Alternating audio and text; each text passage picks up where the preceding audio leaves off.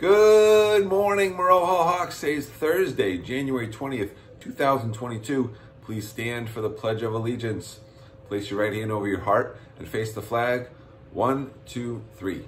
I pledge allegiance to the flag of the United States of America and to the republic for which it stands, one nation, under God, indivisible, with liberty and justice for all.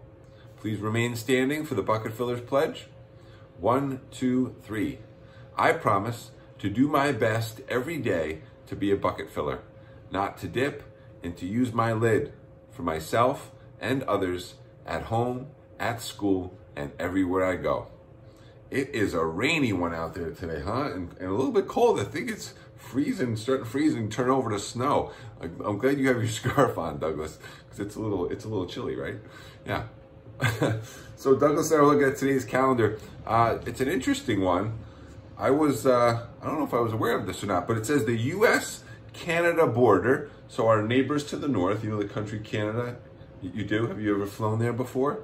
You have? Yeah, it's a very lovely country, isn't it? The US-Canada border is the longest border in the entire world without a military defense. So it's a friendly border. You can cross over the border as long as you've got your passport, right? Because you are traveling to do you get? Do you have a passport? No need for a passport. You just you just fly right over. Wow, that's kind of neat. Yeah, but if you're a U.S. citizen, you need a passport to travel to Canada. Uh, I remember going to Canada for the first time when I was a kid. I was probably in middle school, and we had the opportunity to go see a Yankees baseball game against the Toronto Blue Jays. That was a lot of fun. Uh, we also got to see Niagara Falls. If you've not been to Niagara Falls, I highly recommend it. It is just breathtaking, right? Takes your breath away. Yeah. Um, so that's a cool fact. Um, what was the other thing I was thinking about? Oh, I know, I think yesterday we sent home our first sheet for reading incentive, which kick, kicks off next week. And for four weeks leading up to February vacation, we're going to do reading incentive each week. Uh, I'm, I'm so excited for it. Our pack has been such a big help with this. And uh, our bulletin board in the, in the cafeteria is going to showcase all of the minutes read by all of our Hawks. Are you going to read too? You are? Awesome. Um, and the theme is really neat this year. I have a special book. We'll kick it off tomorrow at lunchtime. I'll share some more thoughts and, and uh, yeah, you can come. I don't see why not. You like to read? Okay. Um, let's see. There is a birthday today too. Today is the 20th. So very happy birthday to Jackson McDonald today. Jackson, I hope you have a fabulous day. Enjoy your birthday, buddy. Don't forget to come on down to the lobby and get your birthday book. And uh, Douglas actually found a riddle. You, yeah, I was proud of you. He found a riddle that he wanted to, to share, and uh, I'm not going to tell you the answer. I'll tell you the answer tomorrow. I think that's a good idea, right? All right, so here's the riddle. Maybe you know the answer.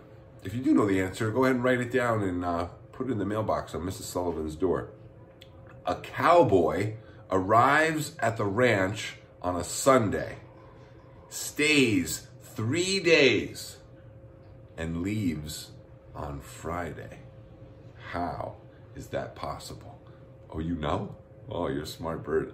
A cowboy arrives at the ranch on Sunday. He stays three days and leaves on Friday. How is that possible? I said he. I guess a cowboy could be a, a girl, right? Cowgirl, cowboy, I don't know. Why not, right? Yeah. So, if you know that, that answer to that riddle, let me know. Also, thank you to the friend who left a special treat on my desk. I super appreciate it. That was super kind of you, right? Yeah, I'll share with you too. Why not? All right, Hawks. Until then, uh, don't forget, I say until then, what does that even mean? Until tomorrow. Um, don't forget, wear your masks, wash your hands, keep your distance. And Mr. Higgins and Douglas love you very much. Bye.